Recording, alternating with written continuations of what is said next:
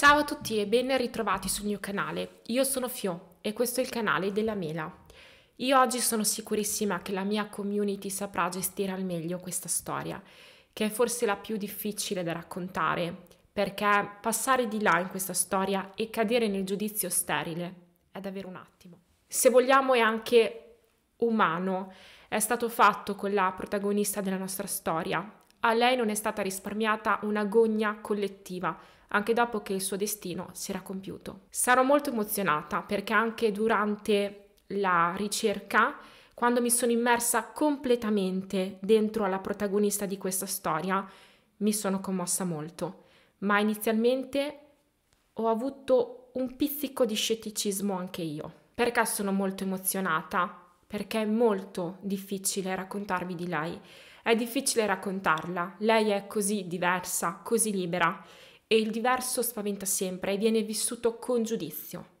Quindi oggi io vi racconto la storia di Giuseppina Pasqualino di Marineo, meglio nota come Pippa Bacca.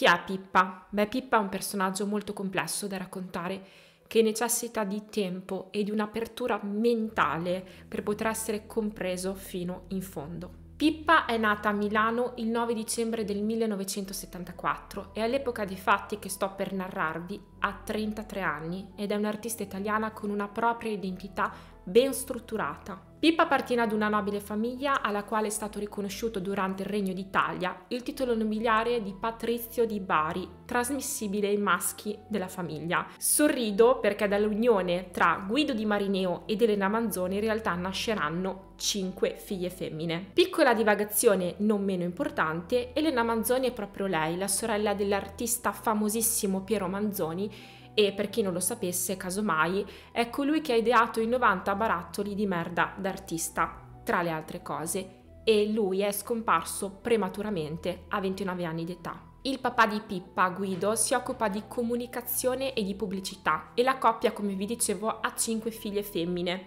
Rosalia, Antonietta, poi c'è Pippa, Valeria e Maria. E quando Pippa ha 5 anni, Elena e Guido si separano e Guido si risposa e ha un altro figlio, Francesco. È proprio Francesco, il fratellino di Pippa con cui l'artista ha un ottimo rapporto, a darle questo buffo nome d'arte. Pippa sceglie di chiamarsi Pippa in arte quando ha 18 anni dal momento che Francesco la chiama sempre Pippa non riuscendo a pronunciare Giuseppina e poi Pippa decide di aggiungere la parola bacca dal momento che in centro Italia bacca significa coccola e anche perché il dio Bacco per Pippa è molto simpatico. Dopo la separazione dei genitori, la madre Elena va a vivere con le figlie in uno degli alloggi popolari dell'Aler in corso Garibaldi a Milano. Le cinque sorelle sono legatissime e molto diverse fra di loro. Da adulte diranno di essere come le parti di un solo neurone con il quale sentono, ragionano e sono sempre collegate. Fin da bambine le cinque sorelle sono sempre vestite tutte allo stesso modo. Se di un vestito non vi era la taglia per tutte, semplicemente non si acquistava. Fin da bambine queste cinque sorelle si specializzano nell'organizzazione di feste ed eventi e la loro è una famiglia, lo vedremo, con abitudini molto speciali e molto aperta al prossimo e alla socialità. Pensate che la madre Elena ogni 15 giorni invitava molta gente nella loro grande casa e le cinque sorelle contribuivano alla realizzazione dell'evento, proprio alla sua organizzazione. Cucinavano, allestivano, lavavano poi tutti i piatti quando la festa era terminata.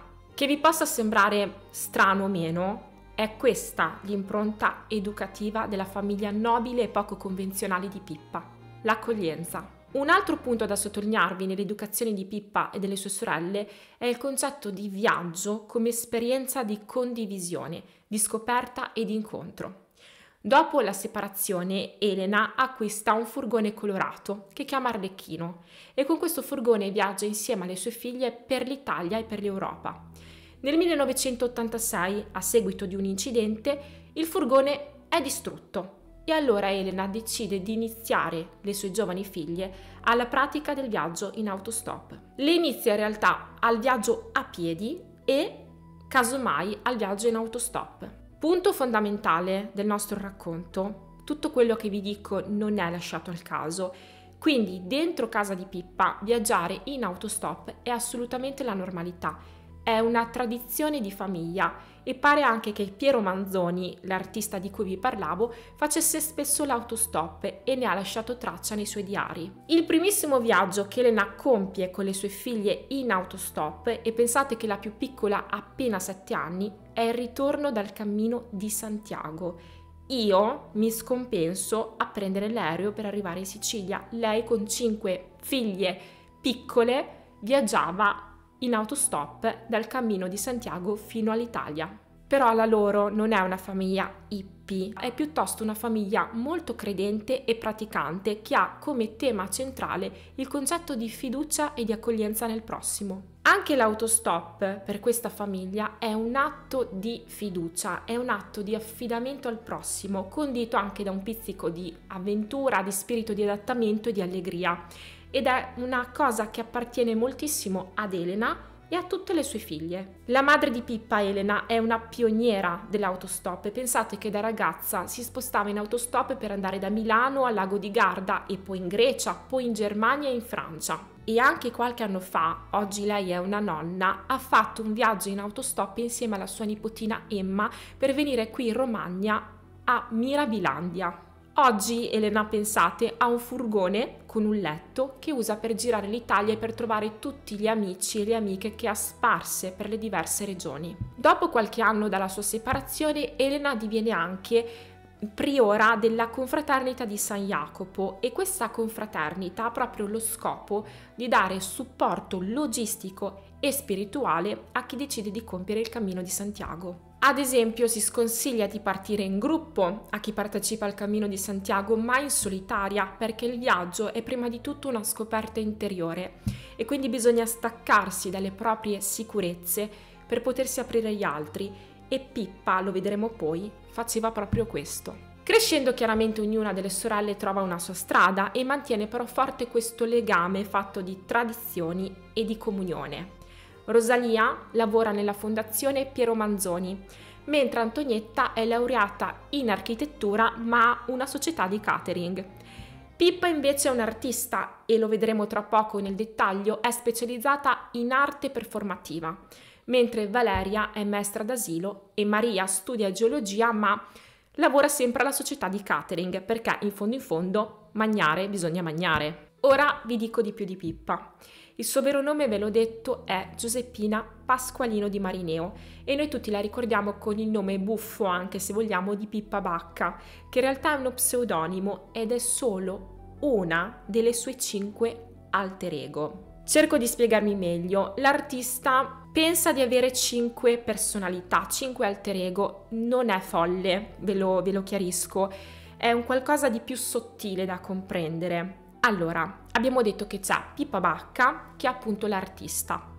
Poi c'è Pippa Pasqualino di Marineo, che è una ragazza che lavora in un call center di servizi interbancari e lo fa semplicemente per finanziare i suoi progetti e la sua arte. Quindi lavora in questo call center perché vuole finanziare l'arte di Pippa Bacca. Abbiamo anche Eva Adamovic, spero di dirlo bene, che è la curatrice di mostre per la Fondazione Pippa Bacca ed è anche colei che ha fondato il gruppo delle bubblegum, come le cicche, noi romani le chiamiamo così, come la gomma da masticare. Eva, quando si presenta al pubblico, Indossa un boa di piume verdi, una parrucca nera, dei tacchi ed è rigorosamente altera e piena di charme. Infine c'è anche un'ultimissima personalità che appare molto di rado ed è una supereroina, detta Coniglio Verde il cui corpo nudo è coperto soltanto da un mantello verde, ma come vi dicevo questa personalità di Pippa appare molto di rado. Mi rendo conto che sia difficile comprendere e anche difficile da spiegare l'estro, la creatività e anche l'essere istrionica di Pippa, ma credetemi, lo capirete andando avanti nel racconto che tutto ha un senso. Una cosa ad esempio che notiamo subito è tutto questo verde. Pippa, un'altra curiosità, si veste solo di verde. Non sto scherzando, lei si veste rigorosamente soltanto di verde dalla testa ai piedi. Non indossa nessun altro colore, ad eccezione di quello delle mutande, che le usa rigorosamente con i personaggi della Walt Disney.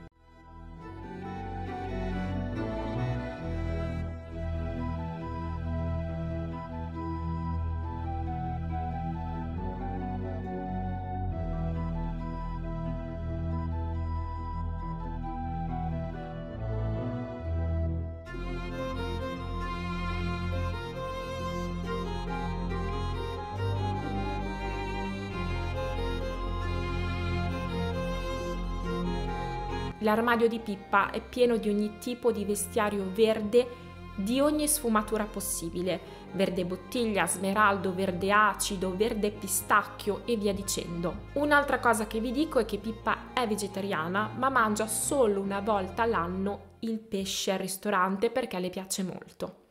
Va anche matta per i dolci, non fuma e anche se ha la patente, se proprio deve usare un mezzo di trasporto, usa una bicicletta verde. È molto credente Pippa e ha sempre la catenina di San Giuseppe al collo. Pippa la mattina quando si alza va in piscina, fa 40 vasche, poi prende la sua bicicletta verde e va a lavorare in questo call center dove lavora semplicemente appunto per finanziarsi. E per lei viaggiare soprattutto significa viaggiare in autostop ed è una cosa normalissima Pippa viaggia tantissimo, parte spesso, praticamente ogni weekend, per andare a trovare qualche amico o amica e ha alle spalle moltissimi, moltissimi viaggi in autostop fin da quando era bambina. Pippa ha girato buona parte dell'Europa, è stata in Istanbul, a San Pietroburgo, in Irlanda del Nord e in Centro America. Durante le lunghe attese per trovare un passaggio, perché si aspetta molto, spesso si aspetta davvero tanto prima di ricevere un passaggio, Pippa recitava il rosario e se era in compagnia raccontava al suo accompagnatore la vita dei santi che conosceva molto molto bene. Durante i suoi viaggi poi Pippa teneva un diario della sua giornata dove scriveva un po' un diario di bordo dell'autostop, chi aveva conosciuto, dove era stata e che cosa aveva visto. Pippa inoltre è molto ben attrezzata per i viaggi in autostop, ha delle cartine, ha degli atlanti e si muove con dei cartelli ben visibili dove scrive il nome della sua prossima destinazione. Effettivamente si ha la sensazione, viaggiando in autostop, di dipendere totalmente dagli altri, ma Pippa spiega che non è proprio così, proprio perché tu puoi comunque in qualche modo eh, muoverti e ehm, regolare il tuo viaggio, anche se poi di fatto il tuo viaggio dipende dagli altri. Ad un certo punto Pippa inizia anche a fotografare tutti coloro che le danno un passaggio, fa proprio una sorta di database del della persona che le dà il passaggio in autostop. Ovviamente chiede il permesso e quando può registra anche le sue conversazioni spontanee che nascono in auto. Vi racconto un fatto molto curioso, fra le foto ritrovate di Pippa ve n'è anche una di Luciana Litizzetto, la nota comica. Pensate che Pippa non conosceva affatto Luciana Litizzetto perché Elena, sua madre, non aveva mai tenuto in casa una televisione e Pippa e le sue sorelle crescendo non avevano in effetti mai sentito l'esigenza di guardarla o di possederla. Quindi loro non conoscevano eh, i personaggi famosi eh, della televisione e dello spettacolo e quindi Pippa chiede un passaggio in autostop un giorno e si ferma Luciana Litizzetto, ma lei non lo sa. Pippa inoltre teneva una rubrica, un file Excel, dove mh, aggiornava in continuazione tutte le persone, tutti i nomi di persone, i numeri di telefono di coloro che le davano un passaggio in autostop, in modo da rimanere sempre in contatto con loro.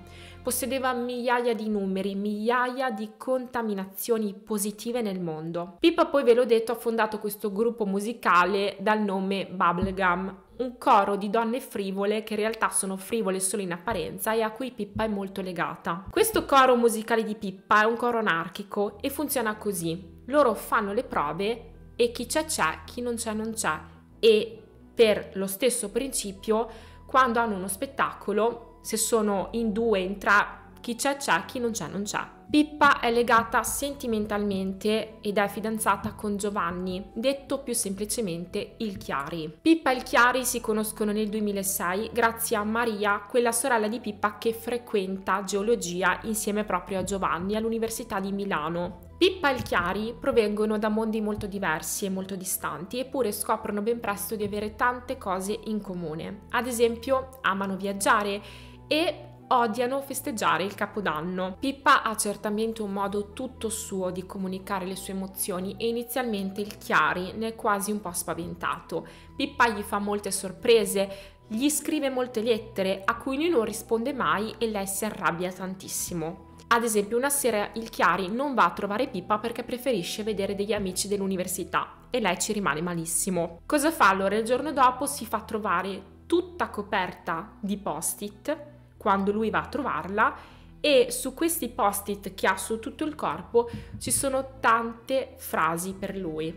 La loro è una storia molto intensa, anche folle, appassionata, sincera, bella, bellissima e lo si percepisce sentendo parlare Giovanni. Vi preciso che il Chiari non viaggia in autostop, non ha mai viaggiato in autostop, ma rispetta molto le idee di Pippa in merito. Poco prima dei fatti, che tra poco vi narrerò, il Chiari e Pippa stavano costruendo casa, una casa con le mattonelle chiaramente tutte verdi, con due water grandi e accanto uno piccolino, con due docce alte e accanto una piccola e con un lavandino grande con a fianco un lavandino più piccolino. Sì, perché il Chiari e Pippa desideravano a breve avere un bambino. Il Chiari dice che con Pippa, e ci crediamo, non ti annoi mai perché conosce tantissime persone e anche nella persona più rivoltante lei riesce a trovare qualcosa di buono.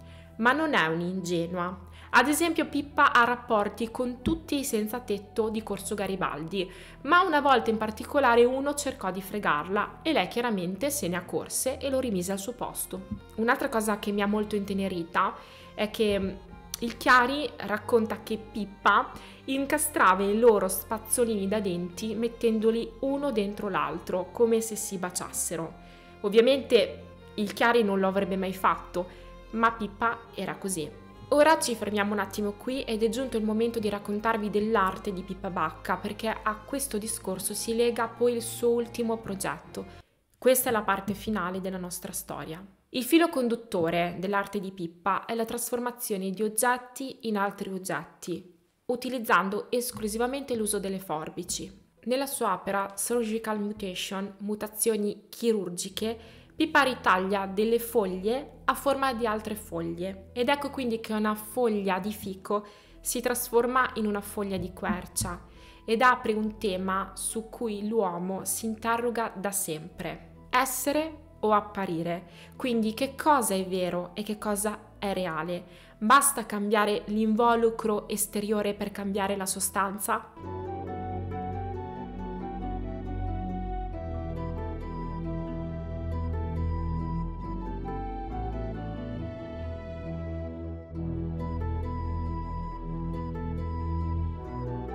Nell'opera invece più oltre, Pippa ritaglia a forma di mezzo di trasporto tutte le persone che le hanno dato un passaggio in autostop, quindi sembra un'opera un po' cinica perché trasforma delle persone in mezzi, ma in realtà il significato che lei vuole dare alla cosa è molto più profondo. Pippa nei suoi lavori affronta sempre delle tematiche molto importanti come la femminilità e la maternità in un'altra sua opera famosa, che si chiama Matres Mutates, spero di dirlo bene, Pippa riprende l'idea delle statuette in pietra rappresentanti le antiche divinità italiche dell'Aurora e le ritaglia a forma di madri leggere e colorate che allattano molti figli. Quindi un bellissimo tributo alla maternità e poi lavora anche ad una serie dedicata alle sirene che vengono ritagliate nella carta verde e quindi ci riportano i miti antichi del mare e queste sirene di Pippa però sembrano quasi ritagliate da un bambino, quindi realizzate con lo sguardo di un bambino,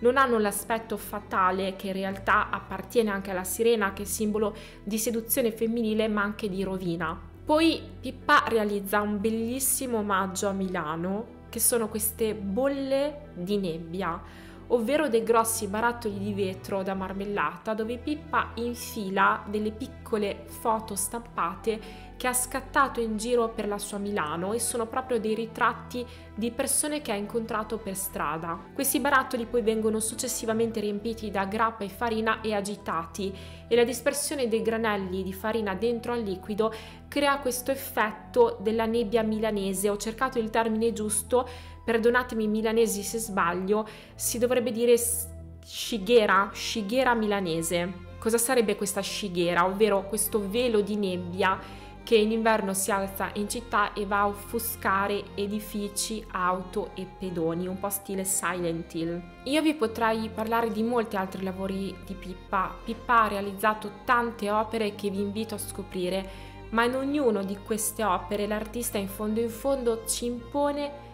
di riflettere su un fatto. Riflettere sull'apparenza, cioè tutto può riscattarsi ed avere una seconda possibilità grazie alle sue forbici e lei grazie a queste forbici prova proprio ad offrire una seconda chance a tutti.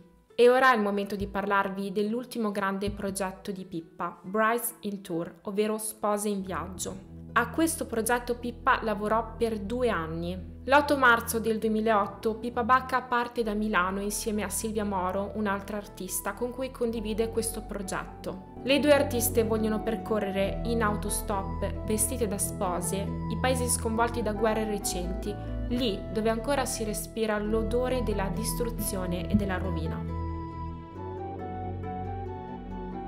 11 nazioni da percorrere, segnate da recenti conflitti e tensioni sociali. Dall'autogrill Sebino di Erbusco alla Slovenia, alla Croazia, alla Bosnia, alla Serbia, alla Bulgaria, alla Turchia, al Libano, alla Siria, all'Egitto, alla Giordania e a Israele. Il loro vuole essere un matrimonio con la gente, con la terra e con il diverso. Sono delle ancelle di pace e il loro è un messaggio di fratellanza universale. Ad entrambe le artiste piace tantissimo il concetto di sposa errante e ognuna di loro ha una distinta performance artistica. Silvia sceglie l'anticarte del ricamo e chiede dunque alle donne che incontra durante le tappe del suo viaggio di realizzare dei ricami sul suo abito da sposa, per cui un filo simbolico che corre lungo tutto il Mediterraneo e uno reale invece e tangibile che viene disegnato sul suo vestito. Questi ricami vengono fatti da donne diverse, quindi da artiste famose, da persone comuni, da ricamatrici dei luoghi che lo fanno per tradizione o per professione. E Pippa? Beh, Pippa esegue la lavanda dei piedi alle ostetriche dei luoghi provati da guerre. Questo rito inizia in silenzio, poi a un certo punto Pippa chiede alle donne, alle ostetriche di parlare del loro lavoro Chiede loro se si ricordano la prima volta in cui hanno fatto nascere un bambino e le loro esperienze emozionali riguardanti la professione. Nel mentre Pippa lava i loro piedi in ginocchio e li asciuga con la mantellina che è parte del suo vestito. Infine li unge con olio profumato alla lavanda e regala alle ostetriche una piccola bambolina fatta all'uncinetto da lei durante il viaggio. Questa bambolina è una sposa fatta a mano da Pippa e nel ventre questa bambolina contiene un piccolo confetto che richiama proprio il matrimonio, quindi una sorta di bomboniera, ma anche la maternità, perché il confettino la bambolina ce l'ha all'interno del, del ventre. Quindi è tutto molto legato. L'idea finale e conclusiva degli artisti è quella di realizzare alla fine del viaggio una mostra a Milano dove avrebbero messo a confronto i loro vestiti dopo il viaggio con due copie identiche dei loro abiti. Quindi i vestiti sono stati entrambi realizzati in duplice coppia, quindi un vestito bianco, perfetto e intonso, contrapposto a quello contaminato dal viaggio. I vestiti delle due spose artiste sono molto diversi tra loro, sono realizzati entrambi da Manuel Facchini e sono prodotti con fibre naturali per rispettare l'incontro con la natura ma anche agevolare il lavaggio e la traspirazione con l'esterno durante un viaggio dove comunque si cammina e si suda molto. In maniera più simbolica lo scopo è anche quello di favorire l'incontro fra anime. Silvia realizza una sorta di abito valigia, quindi ha soltanto l'abito indosso che pensate pesa 35 kg, mentre Pippa ha un abito molto diverso e ha un bagaglio verde, chiaramente verde a mano.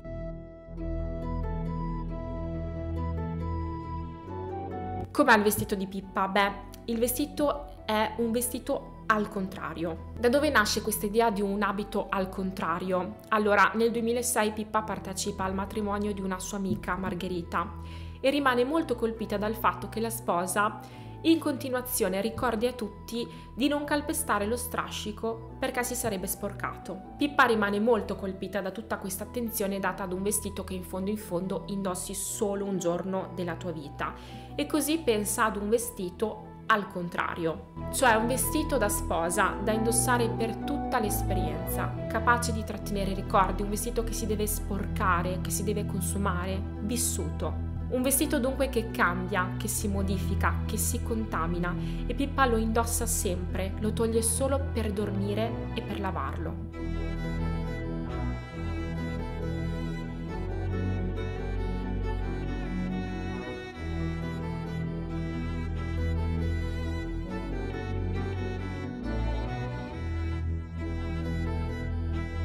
Per loro la sposa è chiaramente un simbolo di amore, di purezza e quindi di vita, per cui Pippa decide di contrapporre questo simbolo positivo a quello negativo dato dai paesi colpiti dalla guerra. L'abito di Pippa è composto in tre parti, ha una mantella, una giacca sfiancata e un'ampia gonna con strascico e questa mantella è quella che lei utilizza anche come copricapo ma allo stesso tempo per asciugare i piedi delle ostetriche a cui effettua i lavaggi.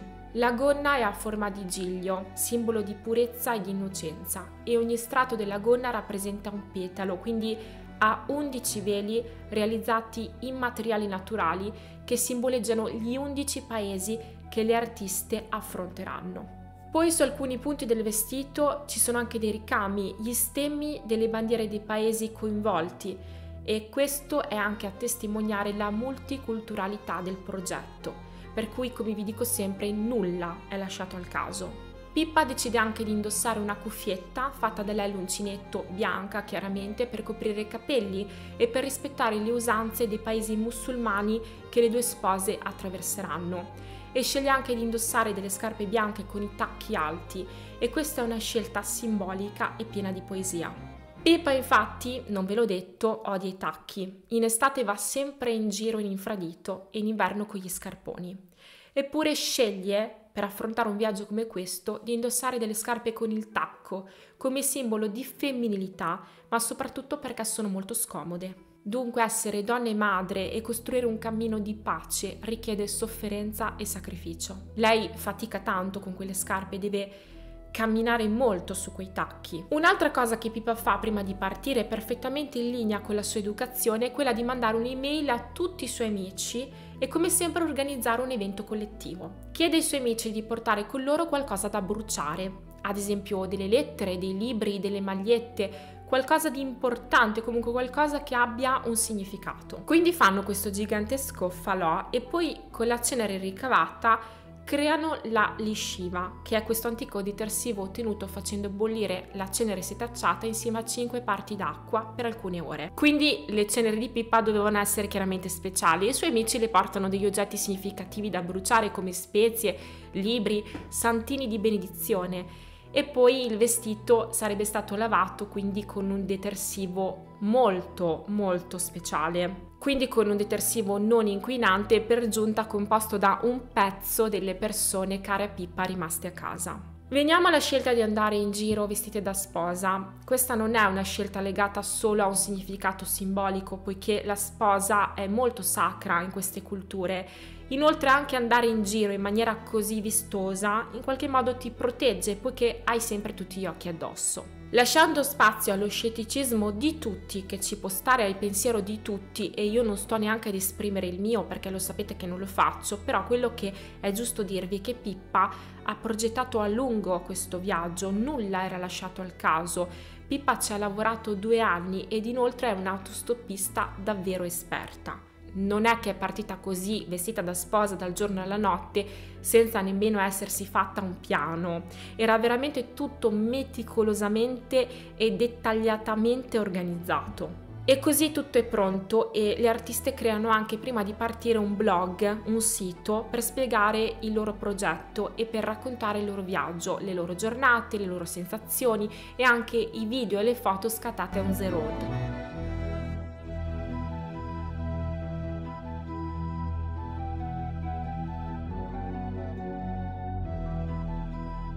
Il viaggio inizia l'8 marzo del 2008, quindi il giorno della festa della donna, con partenza da Milano ed è proprio il fidanzato di Pippa, il Chiari, ad accompagnarla in Vespa nel primo tragitto. Quindi lei sale sulla Vespa a Milano e lui la accompagna fino a Sale Marasino. Silvia, l'artista che accompagna Pippa, racconta in un'intervista che non hanno mai trovato ostilità da parte della gente del luogo, anzi la gente è curiosa ed è benevola. C'è chi regala loro una rosa, chi le chiama angeli, ma nessuno si mostra mai scontroso o offeso dal loro passaggio. Chiaramente si muovono in autostop. La scelta dell'autostop è doverosa perché è gratis, ma anche perché soprattutto alla base ha proprio il concetto di condivisione di fiducia. Pippa e Silvia durante il loro viaggio vengono aiutate da persone di ogni tipo, però hanno anche preventivamente organizzato una rete di ehm, di aiuto e di supporto, quindi grazie anche all'appoggio di associazioni, non sono proprio così allo sbaraglio. Cosa succede però? Dopo alcune tappe Pippa e Silvia arrivano a Istanbul e da qui decidono di separarsi e di proseguire per alcune tappe da sole e ritrovarsi pochi giorni dopo a Beirut. Pare che i rapporti tra le due artiste fossero un po' tesi negli ultimi giorni, una cosa normalissima anche per chi lavora un paio di ore in ufficio, figuriamoci per due donne impegnate 24 ore su 24 in un progetto così ambizioso e così faticoso. Quindi una cosa anche normale se vogliamo. Nel frattempo Pippa si è tenuta costantemente in contatto con il suo fidanzato, il Chiari, non ci sono i social, quindi lei invia a lui degli sms che poi lui gira alla famiglia. Il 30 marzo, il giorno prima dei fatti tragici che sto per narrarvi, lui la raggiunge a Istanbul, dove Pippa è rimasta appunto sola dopo essersi separata da Silvia. Giovanni nota che Pippa non ha più l'entusiasmo di prima, ha investito tutto in quel viaggio lavorando senza sosta, ma tante cose non sono filate lisce, insomma tante cose sono successe molta stanchezza, degli imprevisti, alcuni sponsor che si sono ritirati, poi lo stress che ha colto le due artiste e quindi quando si separano quel 30 marzo Pippa scoppia a piangere ed è la prima volta che Giovanni, il Chiari, la vede piangere per lui. Rimane molto colpito da questo, anche perché loro si sarebbero rivisti solo nove giorni dopo a Damasco. Pippa gli aveva anche comprato i biglietti dell'aereo per raggiungerla. Così si salutano, Pippa scoppia a piangere, lui la rincuora e si ripromettono di rivedersi di lì a poco. Il Chiari riparte con un peso nel cuore e il 31 marzo alle ore 7.20 del mattino riceve un messaggio da parte di Pippa, l'ultimo. Eccomi al porto, tutto bene, mi scappa un po' di pipì, ma aspetto dopo e ne faccio di più. Baci, baci. Poi silenzio assoluto. Il primo giorno di silenzio così assordante, il Chiari le scrive subito e le dice è brutto non avere tue notizie. E poi nel cuore della notte si sveglia in un bagno di sudore. Quel giorno in particolare il Chiari è una regata e tutta la sua equip si rende conto di quanto lui sia agitato. Pippa ha infatti un pensiero fisso e lui controlla il telefono in continuazione. Poi questo silenzio continua e quindi tempestivamente il Chiari decide di partire con Antonietta, la sorella di Pippa che in realtà lui non conosce molto. Però quando il Chiari parte ha già bene in mente, lo dirà lui, qual è il suo compito. Riportare il suo grande amore a casa, nella tomba di famiglia. Antonietta, a differenza di El Chiari, invece, pensa ad un incidente, magari ad un sequestro, e quindi lei e Giovanni si mettono subito in contatto con l'ambasciata turca e con il consolato che collaborano da subito e inoltre i due forniscono il codice email, dovrebbe dirsi così, del cellulare di Pippa alla polizia. Poi fanno volantinaggio e rilasciano molte interviste. Chiedono aiuto anche alla nota trasmissione Chi l'ha visto e la redazione del programma in base alla sua esperienza è molto ottimista.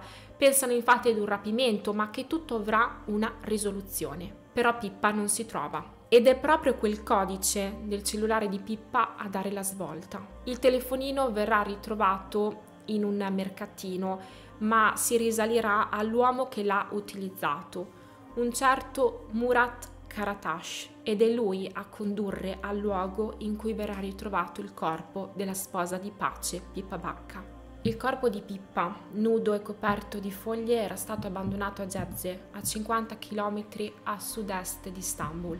viene ritrovato il 12 aprile del 2008, 12 giorni dopo la scomparsa di Pippa. L'autopsia data la morte di Pippa lo stesso giorno in cui Pippa fa perdere le sue tracce, lunedì 31 marzo. Anche il luogo dove viene ritrovata è all'interno di quella zona dove Pippa quella mattina, quando manda l'ultimo messaggio a Giovanni, era intenta a cercare un passaggio. Pippa cercava un passaggio per Tel Aviv, il suo ultimo passaggio in autostop. Sarà proprio Murat a raccontarlo in un interrogatorio. Pippa aveva tirato su il suo pollice piena di fiducia e lui si era fermato per offrirle un passaggio a bordo del suo camioncino modello Tata nero.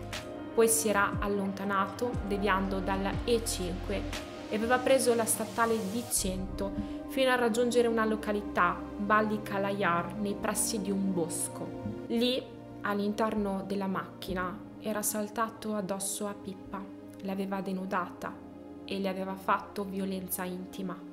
Poi l'aveva privata della vita, strangolandola con un cordoncino. Dopo l'agguato, dopo aver terminato, lui trasporta il corpo nudo di Pippa nei pressi di un boschetto e cerca di coprirlo alla bella e meglio con delle foglie sotto ad un albero. Questo accade lunedì 31, ma sabato Murat è sorridente e stringe tra le mani una videocamera, quella di Pippa, mentre registra un filmato di famiglia. Quando la videocamera verrà visionata, all'inizio ci sono le immagini delle due spose, si sente il rumore della strada, si vedono le persone che hanno dato i passaggi alle due artiste. Poi lo scenario cambia repentinamente. Diventa il matrimonio della cugina di Murat. Dà i brividi pensare che effettivamente come in un disegno le ultime immagini di quella telecamera riprendono proprio il matrimonio di una sposa. Cosa sappiamo di più di questo Murat? In realtà non molto, ha 38 anni e i giornali del posto ne parlano come di un disgraziato, allontanato dalla famiglia, separato e con due figli. Ha anche qualche piccolo precedente per furto, ma nulla di che. Lui confessa tutto immediatamente, ma non fornisce alcuna spiegazione, come se ci fossero spiegazioni per un atto del genere. Noi non sappiamo davvero che cosa sia avvenuto all'interno di quel furgoncino, non sappiamo che cosa sia avvenuto davvero a Pippa quella mattina, le ultime cose che ha detto o che ha pensato. Noi non sappiamo se Pippa con le sue intenne si sia resa subito conto di ciò che le stesse per capitare e se abbia tentato in qualche modo di fuggire o di opporsi.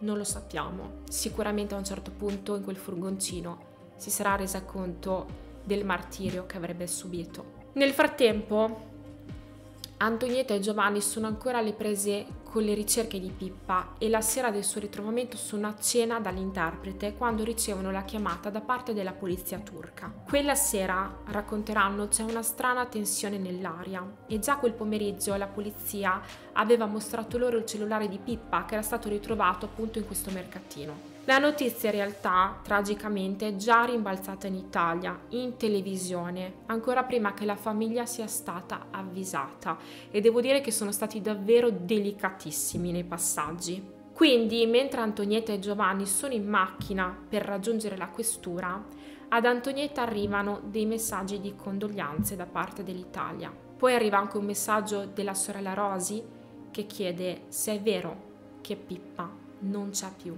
Antonietta è sotto shock e apprenderà così della morte di sua sorella quando ancora non le è neanche ben chiaro con dei messaggi.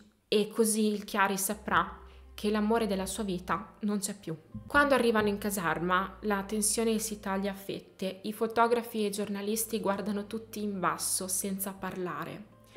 Poco dopo, Antonietta e il Chiari capiscono che sono lì per un preciso motivo, ovvero per un riconoscimento. Vengono mostrati gli oggetti personali di Pippa, gli oggetti del viaggio, quindi tutte le sue cose sono appoggiate a terra su dei giornali. Il suo trolley verde, qualche gomitolo di lana, dei veli del vestito e i suoi guanti. Vedere tutto quel bianco e poi vedere il vestito di Pippa strappato e macchiato di sangue rimane una ferita indelebile per Antonietta e per il Chiari. Io non vi posso dare dei dettagli che non so per certo, quindi non so con esattezza chi abbia visto il corpo di Pippa, ma pare che Pippa sia stata riconosciuta per delle cicatrici che aveva sul seno, ma mi fermerei qui con i dettagli. A seguito di ciò la Turchia espresse con profondo cordoglio le più sincere scuse nei confronti di Pippa e della sua famiglia. E fu molta più scossa in realtà l'opinione pubblica turca da quella italiana. In effetti. In Turchia uscirono molti articoli di giornali dal titolo Ci vergogniamo, Pippa perdonaci, il primo ministro turco poi ha fatto sentire anche la sua voce assicurando che il responsabile sarebbe stato adeguatamente punito. Il funerale di Pippa si è svolto il 19 aprile, un mese dopo, del 2008, nella basilica di San Simpliciano, alla presenza di oltre 2000 persone. Le esequie sono state organizzate a spese del comune di Milano ed erano presenti diverse autorità come la sindaca Letizia Moratti, il console turco Vefik Fenmen e la ministra per le pari opportunità e così via. Ma soprattutto c'era la gente semplice che conosceva Pippa, il coro delle Bubblegum, quello di Micene, cori importanti a cui Pippa partecipava, poi la confraternita di San Jacopo, i senza tetto di Milano, gli amici e molti di coloro che nel tempo avevano dato un passaggio in autostop a Pippa Bacca. La bara di Pippa venne ricoperta da un drappo verde e molti palloncini verdi riempirono il cielo di Milano. Oggi il suo corpo riposa a Casirate d'Adda, vicino a Bergamo. Ora veniamo ad un'altra parte assolutamente necessaria da raccontare. Allora, su internet moltissime persone, i cosiddetti haters di oggi, si scatenarono contro Pippa e moltissimi arrivarono in massa sul blog delle spose creato da Silvia e Pippa prima di partire per far sentire il loro odio. Allora non c'era Instagram né TikTok né Facebook, cioè Facebook esisteva ma era un po' all'inizio e quindi in realtà gli haters